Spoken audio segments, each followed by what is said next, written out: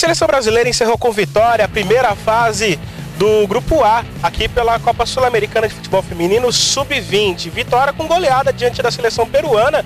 Vitória, inclusive, que garantiu a liderança do Grupo A. Com isso, a seleção brasileira agora vai para vai o quadrangular final. Na verdade, já estava classificado, isso porque o Chile, na partida anterior, venceu a seleção paraguaia por 4 a 2 E aí o Brasil já entrou sabendo que estava classificado, e aí só teve que lutar pela liderança. Isso começou cedo aos 17 minutos com esse golaço da Kellen, que virou bonito e bateu no ângulo da, da goleira é, peruana. Logo depois, aos 29, tivemos o segundo gol de Jennifer, o melhor estilo, protegendo a bola, chutando firme e fazendo o segundo gol do Brasil. No segundo tempo, a Geise entrou e realmente foi o destaque com dois gols, um deles, o quarto, um golaço.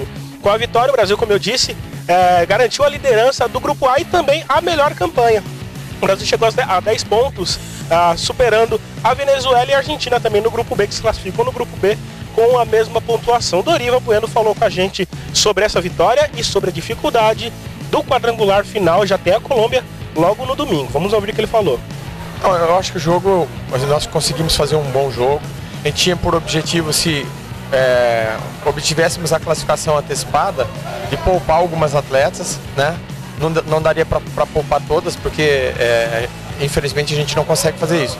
Mas eu acho que dentro daquilo que a gente se programou para essa partida, nós conseguimos fazer o, o, que foi programado. A gente conseguiu a vitória, impomos o, o ritmo que normalmente a gente já vem colocando e os gols foram saindo naturalmente. Isso foi dando tranquilidade para a gente fazer as trocas que a gente precisava. É, agora, o objetivo maior nosso era entrar, sair dessa primeira fase, né?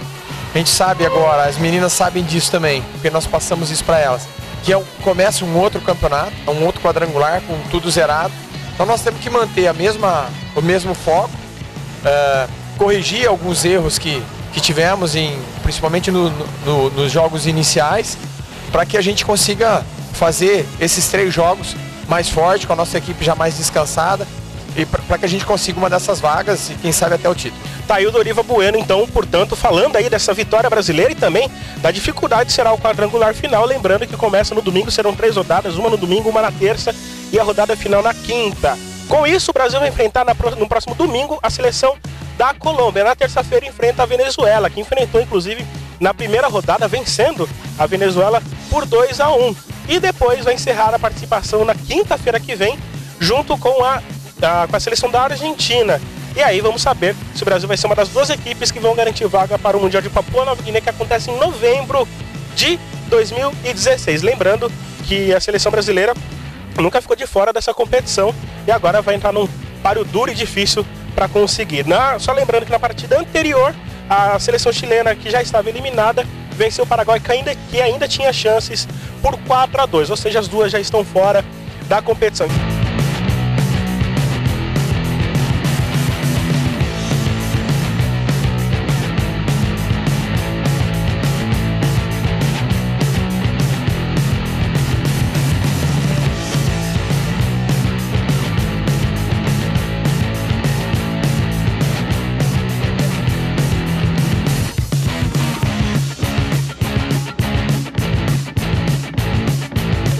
Então, só confirmando, Brasil, é, Brasil, Venezuela, Colômbia e Argentina vão para o quadrangular final. O Brasil enfrenta no próximo domingo, domingo a seleção colombiana. Essas foram as informações, mais umas, é, mais uma informação do boletim aqui da Copa Sul-Americana de Futebol Feminino Sub-20, realizada aqui em Santos, aqui na Vila Famosa, Vila Belmiro. Fique ligado nos nossos canais, CSE Esportes, que está na companhia com o Planeta Futebol Feminino no YouTube. Siga os dois canais, os, os links vão ficar aqui do lado. Então não perca nenhum detalhe dessa fase final. Mais uma vez agradeço e voltaremos a qualquer momento com mais informações. Até lá. Tchau.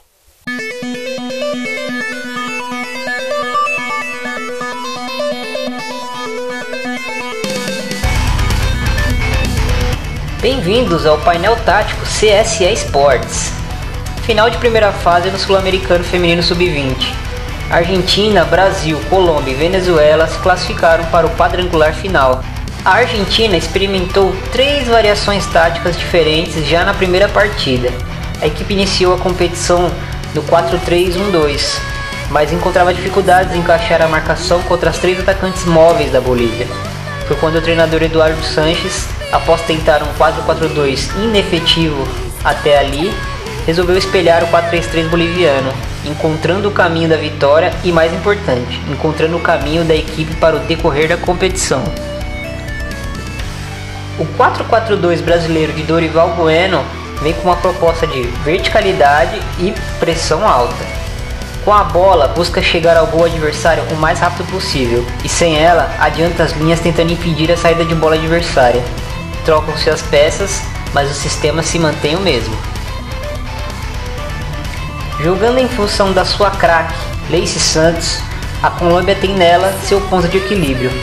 Com o seu 4-2-3-1, a equipe centraliza na camisa 10 todas as jogadas ofensivas. Uma equipe que gosta de ter a bola, mas com grande virtude em criar jogadas em diagonal, nas costas dos laterais adversários. Fria e precisa, a Venezuela demonstra uma obediência tática surpreendente.